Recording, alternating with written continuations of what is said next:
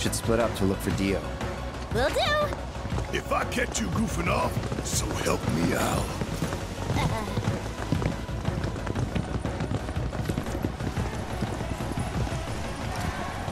Uh, Cloud?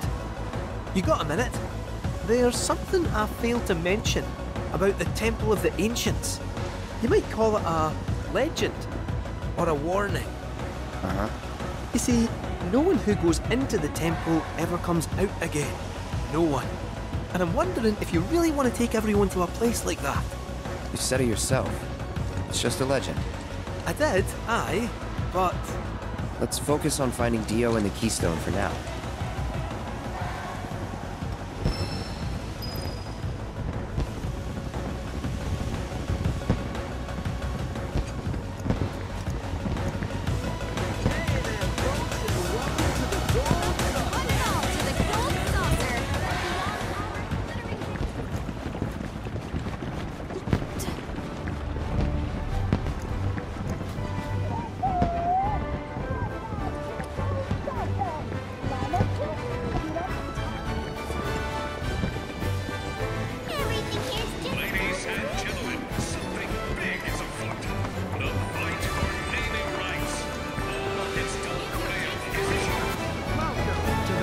Gold Park Central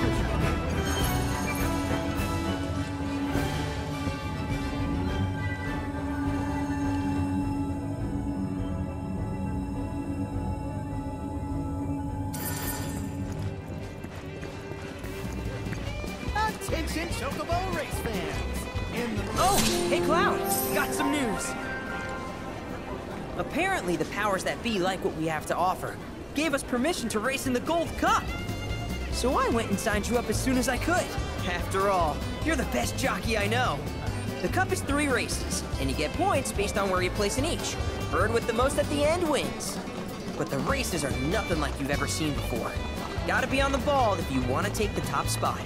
Anyway, when you're ready to face off against the finest riders this side of the continent, head on over to registration. Your bird will be in peak condition. Trust me. Welcome, sir. We've been waiting for you.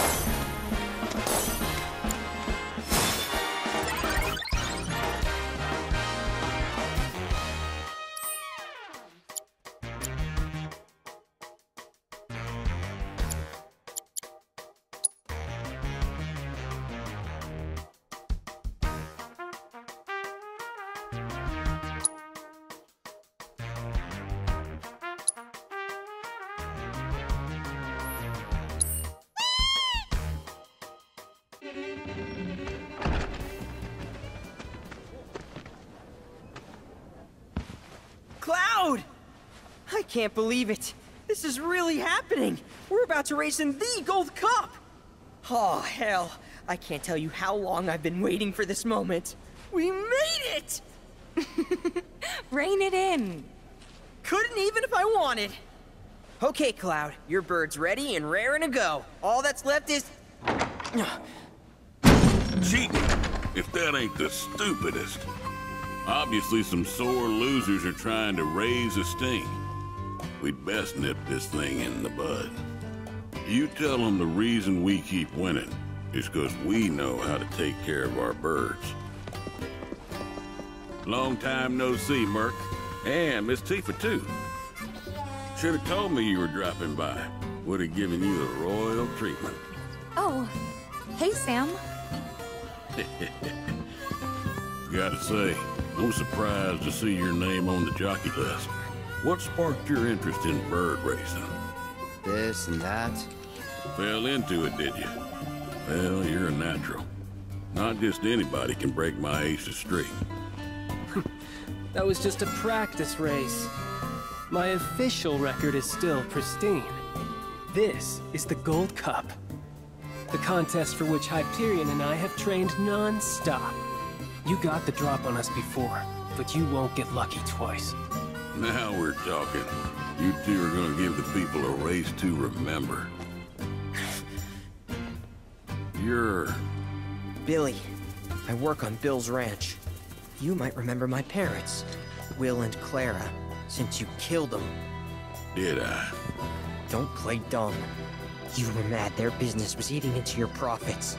So you got them addicted to gambling. It was all part of your grand plan. Hmm. Wouldn't say the story is that simple. But the truth can be one bitter drink. And you ain't nowhere near old enough to keep it down. I ain't just some stupid kid. And I'll prove it to you. If my man here wins the gold cup, that's proof I'm old enough to hear your truth. You're on. Piddly little ranch like yours ain't got a chance. But best of luck to y'all. Sure about this? Pressure's on now. Yeah, well, all I gotta do is win it all, right?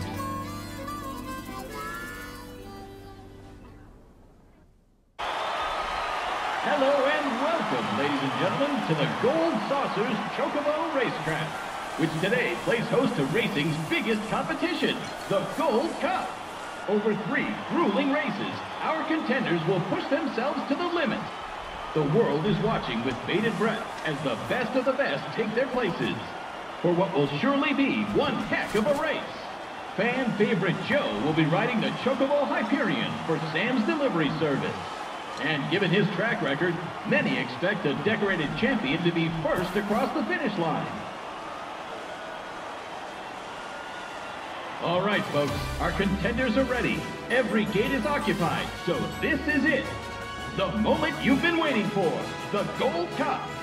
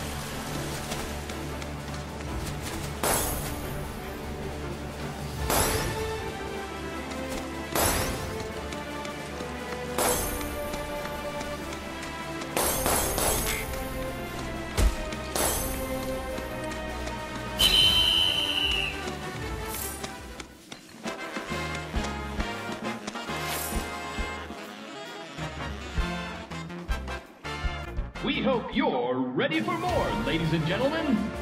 Because we're just getting started. Here comes our next race.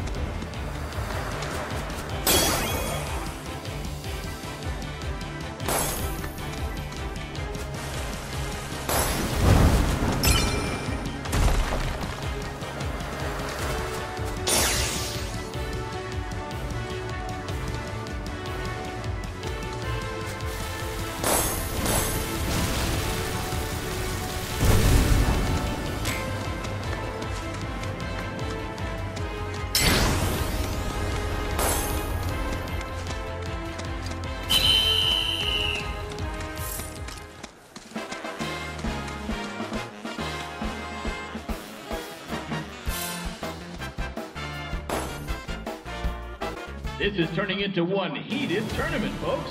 But who will be riding home with the Gold Cup? Only one more race remains in this exciting event. Let's see who comes out on top.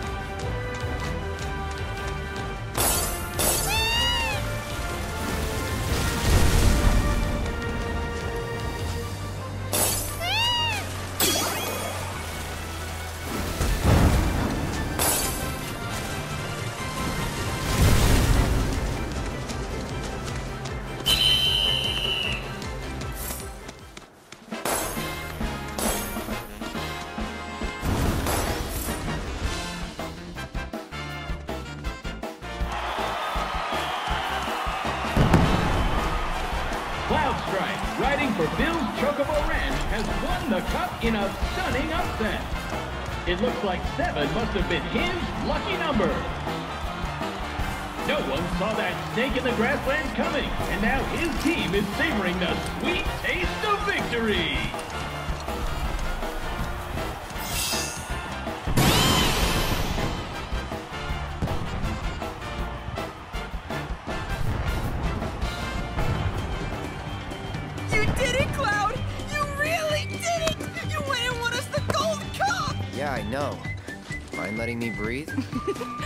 Riding. Thanks. There's a streak running bastard.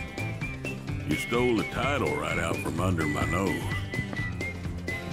Well, Hyperion didn't make it easy. I'd hope not. Mighty fine bird you raised. He beat mine fair and square. Just tell me, what happened to my parents? I held up my end of the bargain. Now it's your turn.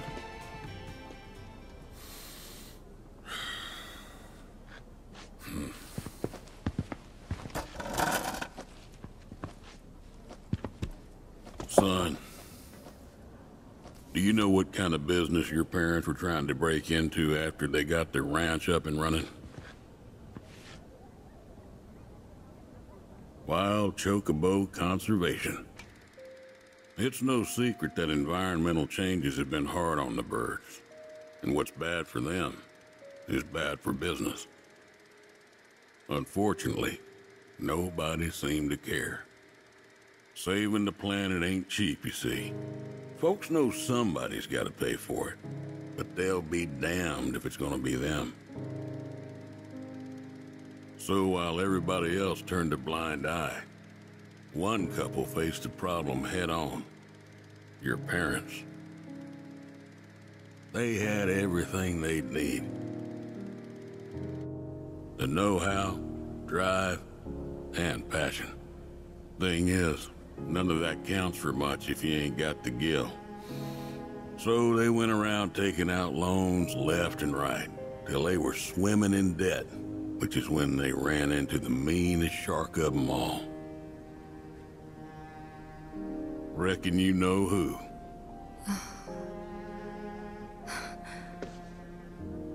Don Corneo. I didn't know it at the time, but that sleazy son of a bitch oh. was rounding up folks and shipping them off to Shinra for their experiments. Will and oh. Claire figured it was the only way they'd be able to save their business, so they signed up.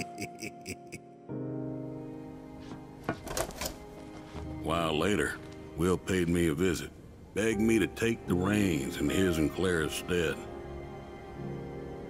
He wanted what was best for those birds. As did I, so I took him up on the offer and bought him out. And since then, I ain't seen either one of your parents. It was only after that I heard about Corneo's antics through the grapevine. Couldn't do a thing to stop him. Not with Shinra in the wings. That's for sure. They say anything about me? Or my sister? Not to me, no. Don't go thinking they forgot about you. You and your sister were always at the forefront of their minds.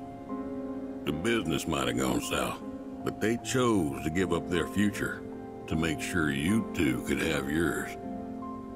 That's why you got a roof over your head, a place to work, and food to eat.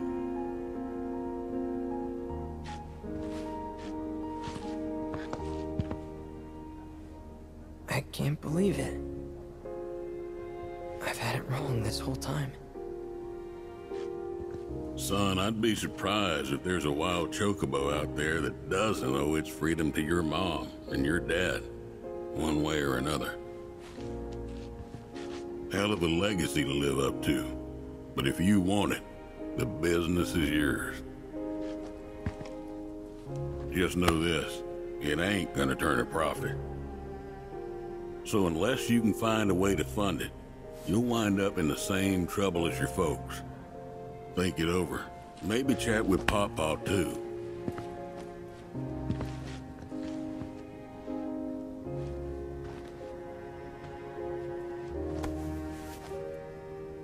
Call it.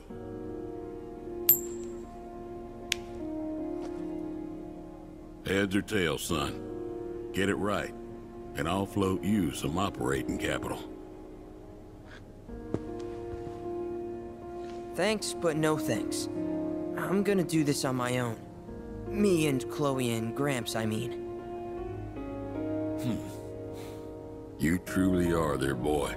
Got your old man's pig head and your mother's backbone. Not bad.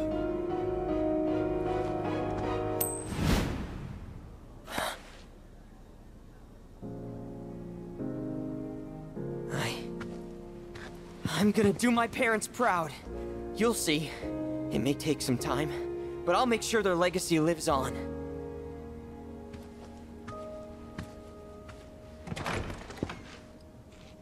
I don't get it. If Gramps knew all this, why'd he make it sound like Sam was to blame? He was probably trying to protect you, to stop you from going after Corneo or Shinra on your own. So he pinned it on Sam, knowing that your uncle would be okay shouldering the blame. Shouldn't have to tell you this, but seeking revenge would be stupid. I know. Still, if an opportunity did happen to come along, you'd help me out, wouldn't you? Hey, I'm a world-famous jockey now. Can't be associated with that kind of stuff. Uh-uh. You had me going there.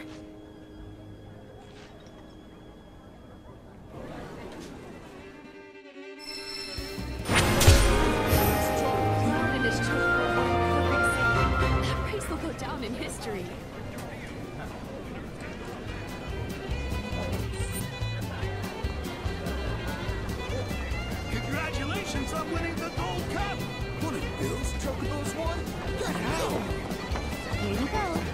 Can this to one of the... Hey there!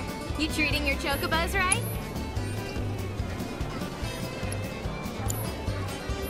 Catch you later! Work! Got gold saucer points?